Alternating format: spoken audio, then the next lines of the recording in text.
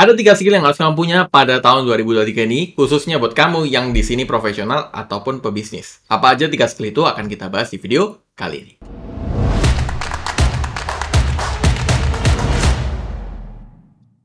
Hai, kembali lagi bersama saya Sean Andreas dari Upgraded.id, tempat belajar digital marketing dan digital teknologi untuk tingkatkan bisnismu.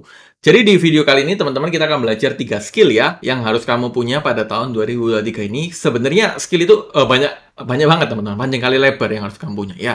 Tapi kita akan bahas tiga skill yang uh, prioritas lah ya agar kamu bisa tahu dulu ingin mulai dari mana nih ya. Dan bapak basi lagi boleh masuk uh, ke layar laptop saya teman-teman. Jadi kita tahu sekarang yang pertama adalah digital marketing teman-teman. Jadi semenjak uh, mungkin pandemi yang 2020 ya, kita di banyak orang sadar nih bahwa penting banget untuk kita mendominasi khususnya di media digital. Yang kedua adalah skill copywriting dan storytelling teman-teman. Kenapa? Karena kita tahu sendiri um, di digital teman-teman orang-orang itu berkomunikasi secara tertulis gitu kan. Beda orang-orang kalau misalkan berkomunikasi secara lisan yang seperti ini yang offline. Itu kan tentu cara berkomunikasinya juga berbeda. Ya, yang ketiga adalah skill video editing, teman-teman. Kenapa ini penting banget? Karena konten yang kita konsumsi sekarang kebanyakan bentuknya video.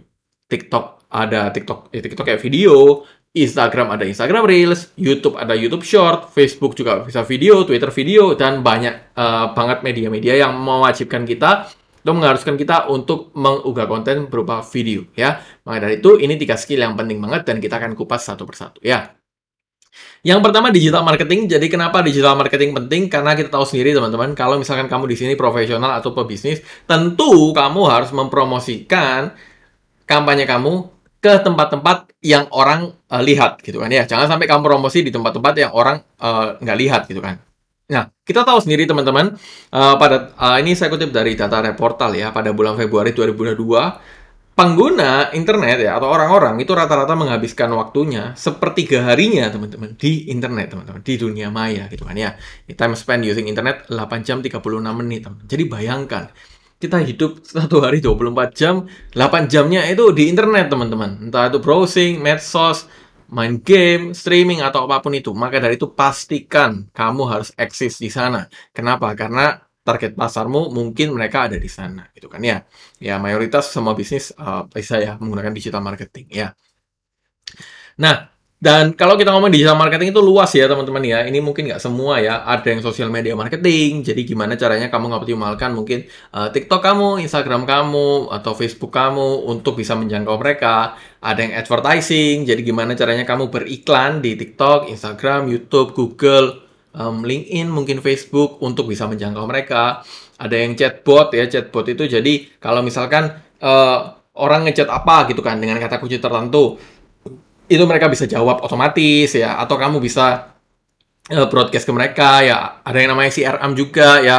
Jadi gimana caranya kamu mengolah pembeli kamu, database kamu, ada yang namanya SEO. Jadi gimana artikel kamu atau website kamu bisa muncul paling atas, ada yang namanya marketplace ya. Jadi marketplace ada banyak ya kalau misalkan kamu jualan di marketplace. Nah, aspek di atau uh, digital marketing itu terbagi luas banget teman-teman ya. Jadi apa aja sih yang harus kamu pelajari? Kalau saran saya kamu mulai bisa mulai belajar dari sosial media marketing sama advertising sih.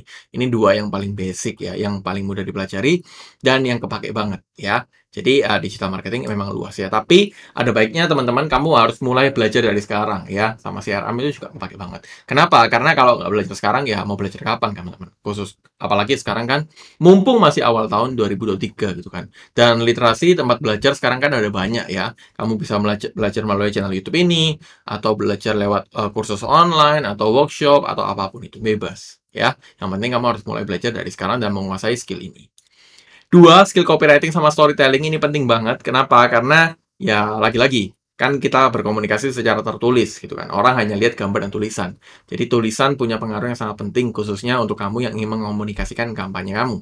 Nah, copywriting itu apa? Copywriting itu ya kalau definisi saya pribadi kemampuan untuk memengaruhi orang lain lewat sebuah tulisan. Sementara kalau storytelling itu kemampuan untuk bercerita, teman-teman. Nah, Uh, sebenarnya ini yang saya sampaikan juga storytelling itu kan kita menceritakan. Tapi biasanya storytelling itu sama sekarang ya itu nggak hanya dipakai untuk bercerita aja, tapi untuk dipakai kebanyakan dipakai untuk hal-hal yang bersifat komersial ya, seperti kayak iklan ya atau menjual sesuatu, konten ya dan lain-lain. Ini kalau teman-teman masih bingung gitu kan, apa bedanya copywriting sama storytelling? Contohnya seperti ini. Ini kalau copywriting ya, kamu sudah konsisten posting tapi nggak berujung closing, ya baru di sini kita kasih isinya. Nggak apa-apa, semua orang juga mengalami masalah tersebut. Namun ada baiknya kamu juga menganalisa nih, kira-kira apa yang salah dan apa yang harus diperbaiki. Sekarang coba bayangkan gimana kalau ada sebuah teknik yang dapat membantu kamu meningkatkan omset penjualan. Nah, yuk cari tahu jawabannya dengan cara klik link di bawah ini sekarang juga. Nah, ini misalkan contoh simple copywriting. Nah, storytelling bedanya apa? Storytelling bedanya seperti ini. Nah, storytelling itu ada ceritanya nih. Contohnya seperti ini. Jualan online itu susah, kata si Jennifer dengan nada tinggi. Masa? Susahnya di mana sih? Aku coba menenangkan hati Jennifer. Ya itu katanya, kalau mau jualan laris harus konsisten posting.